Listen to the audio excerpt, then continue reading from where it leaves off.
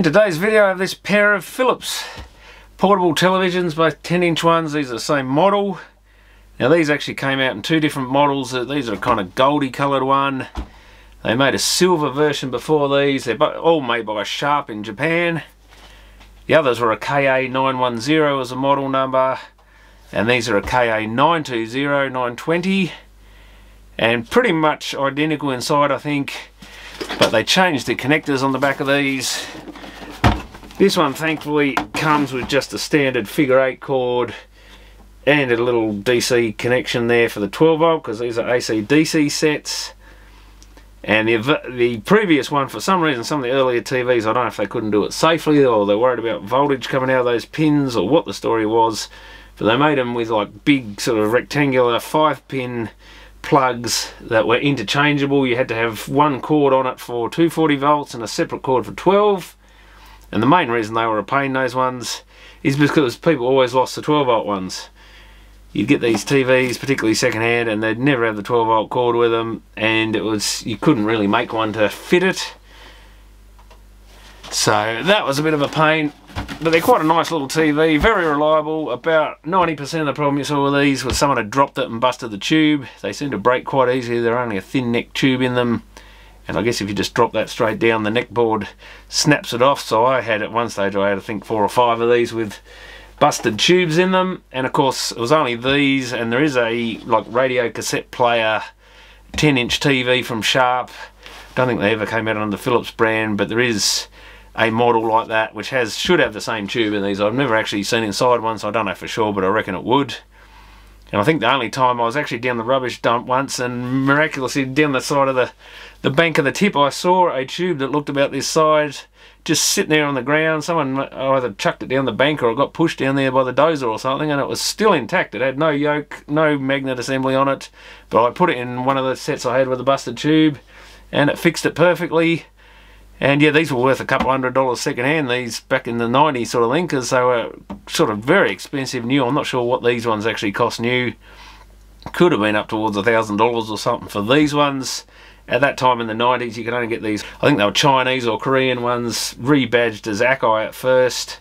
And then I think they might have actually changed the design. There was a later one that came out under Masuda and Akai and all sorts of stuff. I think Tandy sold them and they were pretty horrible TV. They had these voltage regulators and some of them that failed, sort of a, a potted block in there and someone did make a little switch mode power supply thing to replace them. But they everything used to fail on those things. They were very cheapo parts.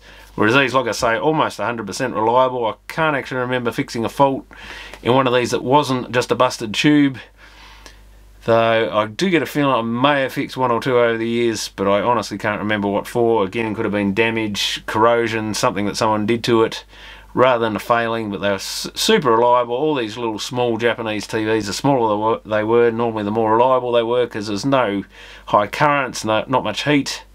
So very reliable. These ones have just got this natural 24 AC-DC portable on the top. We've got some tuning up here. I think this actually was the other thing. God, that's dirty in there. This thing has been in the shed a long time and it was probably filthy before I even got it. I forget where one of these came from. The other one I think came from a tip shop. I saw it for $5 or something and couldn't resist grabbing it. But where I ended up with the second one from I failed to remember. But I think the earlier version had a really good tuning, digit electronic tuning system. And it was one of the quickest electronic tuners I've ever seen. I think you just press the buttons I seem to remember three buttons in there. I'm not sure if they were for each band. But they'd come up with a little on-screen display and it would just whip across the screen, find any channels really quick. I don't know why the modern TVs couldn't do that, but I think, yeah, these ones went back to a, a manual type tuning. I mean, they've got the up-down buttons, but they've got a, a separate preset for each one. I think the earlier model didn't have that. Some of the Philips were actually the fastest electronic tuners out there. They were just brilliant because when you're fixing things all the time and having to tune channels in, you get very sick of waiting for things to take half an hour to tune a few channels in, which some of them literally to take that long. But these these were a good little system, but that's even better in some ways. You can quickly just use your thumb wheels. You've got your three band switch position, the little white switch, and the little thumb wheel you just turn. Turn your automatic fine tuning off and away you go we've got brightness contrast and co color under there a couple of build-on antennas which plug in via this little balun on the back just a fly lead hanging out the back and a tuner. No AVs or anything, unfortunately. That's your vertical hold. So they and they are a live chassis, and these things, even though it's got the 12 volt connection, I'm pretty sure this is largely yes, is chassis live. Contacting is dangerous. I think this goes for a separate inverter power supply that's kind of isolated, but the mains part of it is pretty well live I think. I think there is an isolated socket on the back. Might even be a standard Philips although this one looks like a just a metal tuner sticking out the back. So who knows? Maybe they're not totally telling the truth on that. I'm pretty sure the other model was a definite live chassis but it might be one of these partially isolated things so it's not technically a live chassis but I'm not sure that anyone would want to bother modding one of these or anything and that one's probably a bit cleaner that's still full of dust but generally looks to be in good condition. This one's pretty rough. Paint scrapes and stuff, part of the Philips badge has been worn off. I reckon this one's been used, transported around in a caravan or a car or something a lot. It's definitely had a hard life. So that's usually a sign, and we've got red paint and stuff on it, so it might have been jammed in a caravan or moved around. And that's why they eventually got broken, a lot of them, because people tripped over or fell down the steps getting out of the caravan or something. Moving it around or in the vehicle it, it, tipped over or something they forgot to put it away and it fell off the bench in the caravan or who knows what happened but they did get broken a bit I guess we can plug this one still got the cord on it I think just the standard figure 8 type power cord whether that's the original one or not I don't know but it's a fairly well insulated one Hirakagawa Hirak Hirakawa so that's a Japanese one. This probably is an import. Warning on the back. Philips, warning, dangerous voltage, chassis live. Yeah, remove the plugs before taking the back off. KA920. Manufacturer specifications of Philips Consumer Products of Australia, made in Japan. And I did see a picture somewhere of one of these, New Zealand I think kept their tariffs on their imports of televisions and stuff a lot longer than Australia did. And I think there was an actual Pye in one of these. I'm not sure if it's this one or the KA910, but there was a Pye branded one that was supposedly, you know, they pretended to assemble some of it in New Zealand, I guess. Probably sent it all over in boxes and screwed the front and back covers on or something. Just to have some local content. Let's see if this thing works. I'll be surprised if it doesn't. And I can't remember if the other one had a different channel display. This one's got the standard sort of Philips thing Actually, this one, oh, does it come out? Often Philips sometimes had a way to remove the little plastic card in there and you could change what channels it showed because this has got 2, 0, 7, 9, 10. So it's the mainland channels basically. ABC, 0 is probably for, is, or did we have a 10 as well? No, we've got 10, so we've got 10, 9, 7 the commercial. 0 is probably if you want to put a VCR or something on it. a couple of stars which is just for whatever. And U was usually for SBS for the UHF. But yeah, very nice little picture on them. These little compact tubes generally gave a very good picture. We better hook it up to some sort of signal source, I guess. Got a headphone socket on the back again. That suggests it's not necessarily a live chassis, this thing. Some white stuff there, but we'll take the back off and have a look in a minute as well. Okay, I'll have to tune this in. I think we need to worry about upsetting the tuning. Normally you try not to mess up the customer's tuning, of course, when you had it set to repair, but I'm still in the habit of thinking, well, I don't want to miss channel 2, they've probably got the ABC on it, but uh, have we got any colour adjustment here? Or is my eyes on grayscale? See somewhere, oh, we're at AFT off.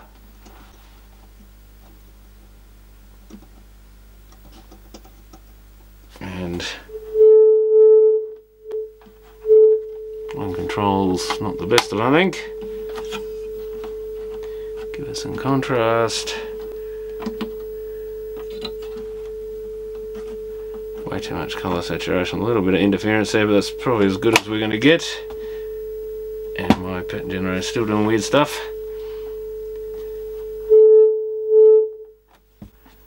But should give a pretty good picture yeah that's all pretty good. There's a little bit of convergence out there a little bit of red. I mean that was generally acceptable for a TV like this anyway but in a perfect world it'd be a little bit better than that. That looks pretty good.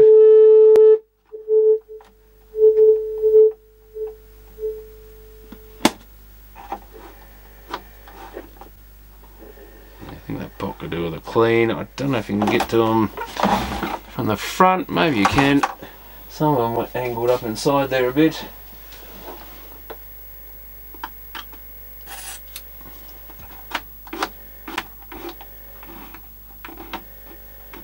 That took a little bit of lube out of it, so it feels a little bit rougher than it was, but I think that's pretty good now.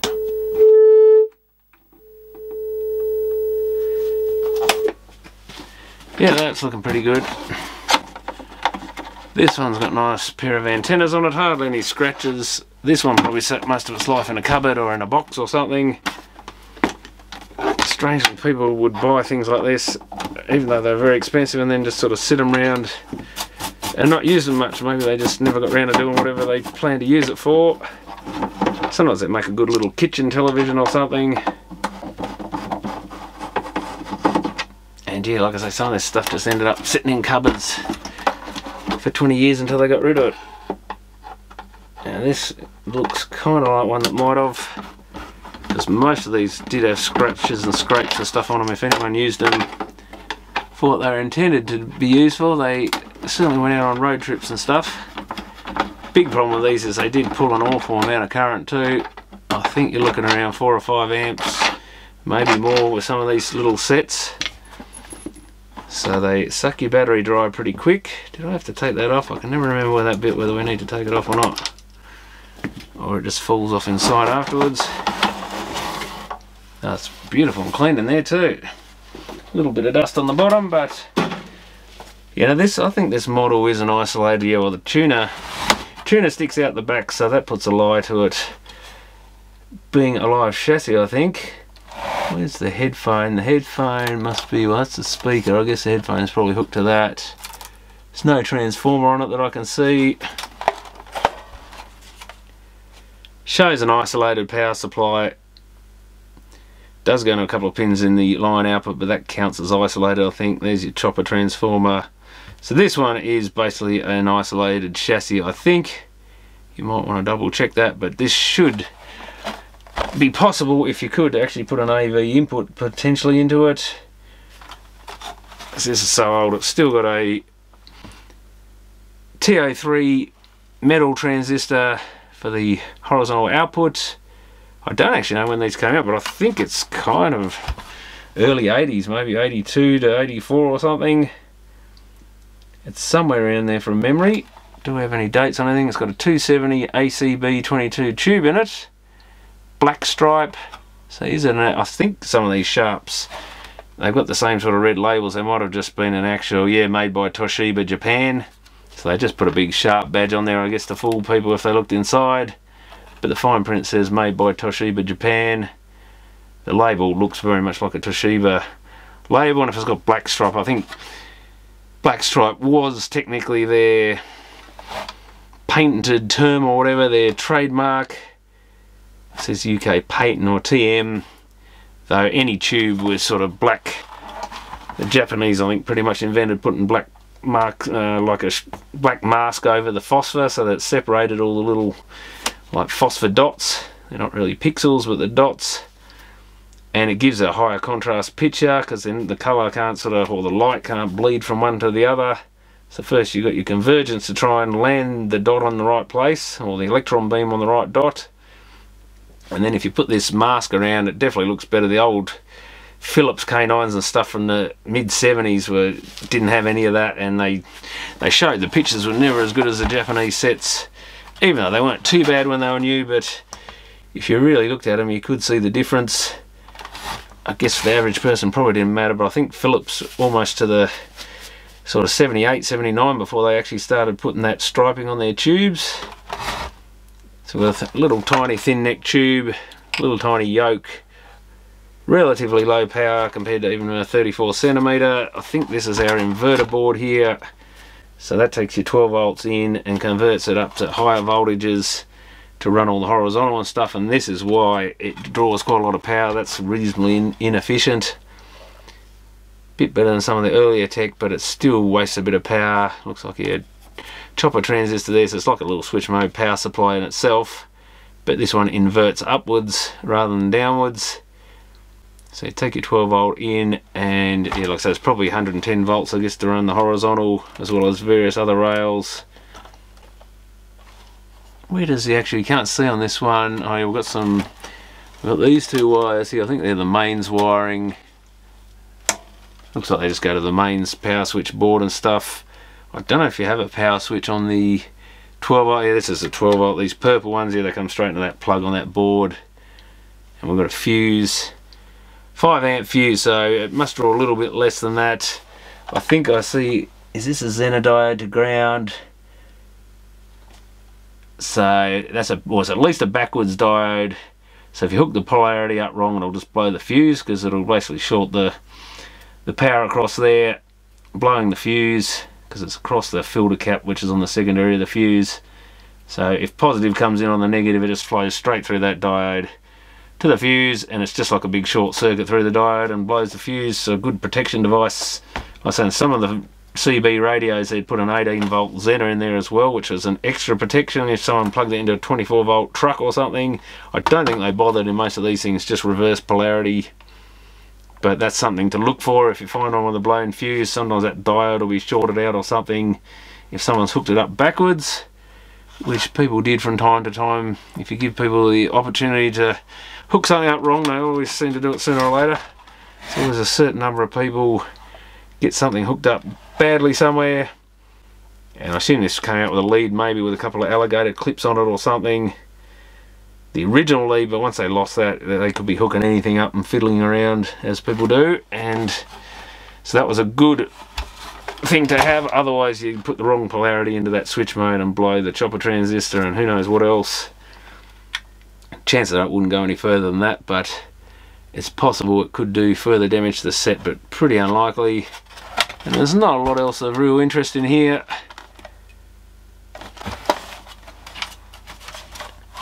just got a little slide up chassis here which just got to be careful what you're pulling on. What is holding it? There's a degaussing coil and all this wiring here so you've got to undo that little clip. There's your RGB drives on the back of the tube, focus and screen, usual thing, and your plastic cover over the power supply there to keep it isolated even more. I guess so no one puts their finger in there maybe, but that tuner goes straight out the antenna socket. So we can say that's definitely not live chassis really because there's no way they could do that.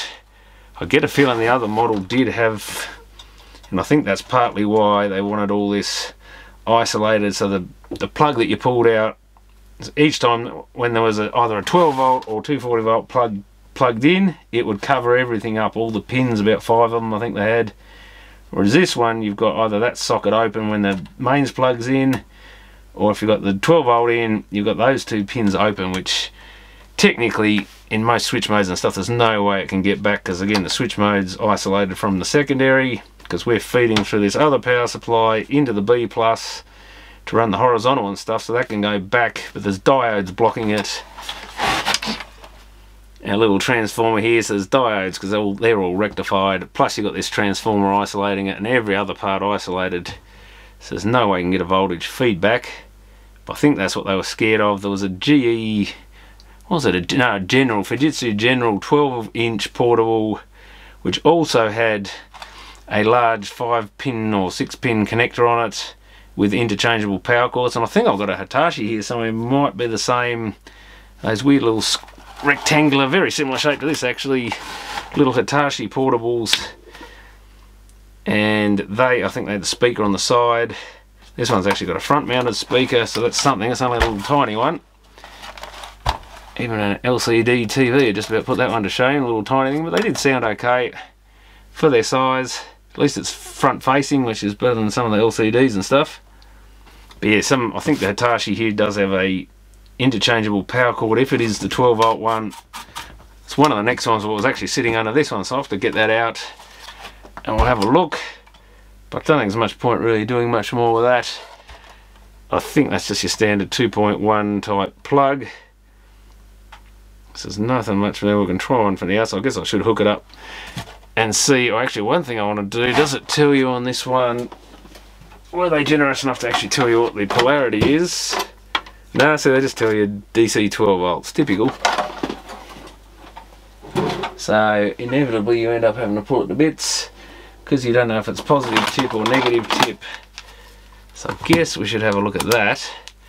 Easy enough because this circuit board's marked. We know it comes in on that purple plug there. That side of it goes to the negative of this capacitor. That side goes through the fuse. We've got the diode pointing backwards, basically up towards the positive. So it won't take long to do a continuity test from that middle pin. If I can touch it. It's positive tip. Okay. Yeah. Oh, it's less than I thought. It's about two and a half amps. Although it's starting to go up. I guess once the beam current gets going, so it's sitting on pretty much 3 amps. So it's less than I thought. I actually thought maybe those other cheapo ones, the Masudas and Akais and stuff use more than these. These are actually possibly a bit more efficient. Not sure, I think this might have, I don't know if the degaussing works in these or not. The other ones used to have a button I think to press to actually manually operate it if you wanted to use it. But yeah, 3 amps is actually quite reasonable. So these probably build a bit more efficient. I'm sure those Masudas were up around the 4 or 5 amp. I remember a guy had trouble using one in his caravan and they were very picky about the voltage too if it dropped much and the wiring in his caravan wasn't really up to it. And that's purely off the 12 volts. If I can move this without shorting anything out. We're just running off that little plug in the back.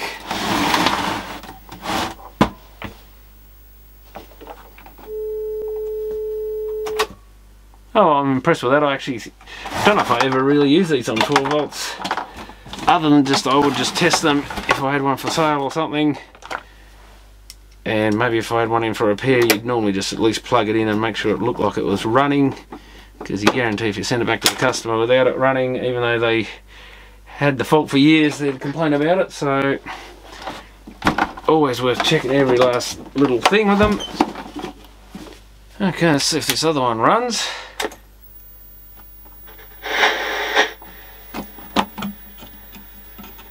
Ooh, not quite as good as a little greeny when it starts up, but it's getting there in the end. And we've got vertical hold issue. Ah, as soon as I touched that, that came right. That's a bad sign. I wonder if I've got a dicky vertical hold control or a dry doing it. Doesn't seem to... Uh, did flick a little bit then, so maybe that's not 100%. So this one's basically running other than a slightly dodgy DC plug on it and it could even be because I've got the wrong size on there it seemed to work alright on the other one but sometimes the center hole in those plugs is the wrong size there's two different ones you can get. Or it could just be a bit of corrosion but this TV's fairly dirty and horrible anyway. And it's much better now that you can replace these with just an LCD probably with a DVD player built in and it uses quite a bit less power weighs a lot less takes up a lot less room not sure what that actually weighs, but you could probably get a bit of a workout to it using these things. They're not too bad, but they're still reasonably heavy. But quite a cool little TV in their day. I still kind of like the look of them. I like, for some reason, I like a lot of these smaller colour TVs. They were something a bit more special. And I'm not sure how many years they sold them for. Maybe early 80s to mid 80s or somewhere around there but they did sell a lot of these. I think in Australia this was the only TV you could get this size basically in a 12 volt portable type version. I don't think there were any other 10 inches available at the time. There were all the little 5 inches like the other one I looked at that little JVC thing and stuff. But I think as far as 10 inches there was just these for a while and it probably wasn't that many years and Sharp, like I say, did make one, but it wasn't 12 volt, it wasn't portable, I don't think. It was just a thing—a larger box, flatter front, and I think it had a tape deck and a radio or something over this side, rather than just the, the TV functions, and I think it was quite a bit higher. And of course, these tubes go quite a way back, so they've got to be quite a big box. That was always a limitation with these tubes, is the neck length one of the reasons they didn't use them and why most boom boxes and stuff with TVs in them have black and white because the colour ones were just too far back. You'd end up with a boom box that's you know so deep. Even those little that little JVC 5 inch one I looked at probably comes back to here somewhere. It's not much better than this one. The tube neck certainly goes back a long way on colour. And of course there were plenty you could just buy your Kmart $99 or whatever it was black and white 12 inch portable TV they sold thousands and thousands of those. A lot more than these things of course. And a lot of people were just happy if they're camping or whatever if they could just have a slightly bigger screen and in black and white was good enough. At least you know you had sound you had picture it was good enough to get you by. Having a, a colour one was a bit of a luxury but of course they're a bit smaller. And these probably use you know five times the power or something. Those little black and whites were quite efficient I think so they were not very greedy on power. There's a lot more electronics in this. Obviously got sort of three times the guns in the picture tube and that sort of thing. Much higher voltage on the tube. So overall a lot less efficient. But they were a cool little TV in their time. And I'm glad I still have a couple around. I would like to get the other model as well. It would have been nice if I got one 910 and one 920. But if any of these I could get back in the day, I could sell out the door as quick as I could get them um, they were a very good seller, these little TVs. There's always someone after one, and people didn't want to spend six, seven hundred dollars on one. If they get one second hand for a couple hundred dollars, much better. But that's that one done for now, so thanks for watching.